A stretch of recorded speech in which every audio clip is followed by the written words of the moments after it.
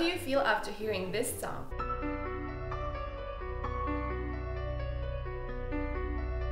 And how about this one? Music can change our moods instantly, but what exactly does listening to music do to your brain and how can you use music to become happier? Find out all about it on today's Psychology of Music.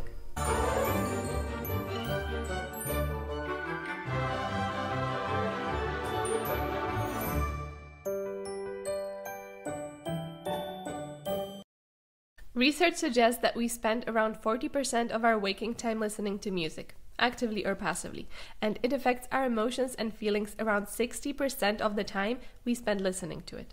It's no wonder that happy music is more likely to put you in a good mood, and sad music is likely to, well, help you spiral down into an abyss of despair. But more on that later. When we compare the humans today with our caveman ancestors, we have a couple of things in common when it comes to music. We have the ability to create and respond to music and dance or move to the beat. Already, babies can hear their mother's heart beating from inside the womb, and newborns are easily soothed by their mother's heartbeat and voice. We grow up with sound and music all around. It's simply a part of us. That is why children love to clap their hands or bang on the table with a spoon pretending to be drumming. As you can see, we learn to respond to rhythm from a very early stage in our lives. Of course, our preference for sounds and music changes over time.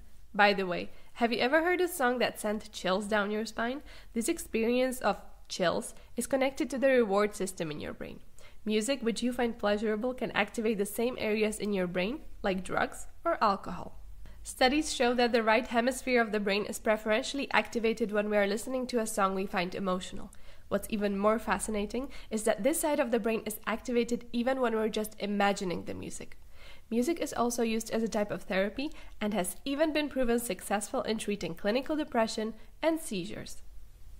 Music can be used in deliberately regulating your emotions. So, if we can steer our emotional states by listening to a certain type of music, then why not just play happy music everywhere at all times?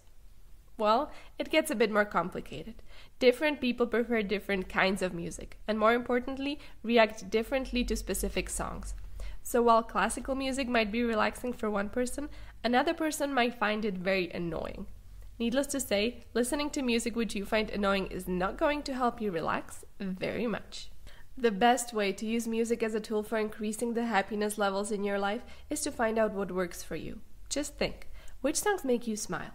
Sound and rhythm have been a part of us before we were even born, and this just goes to show that music simply belongs in our lives.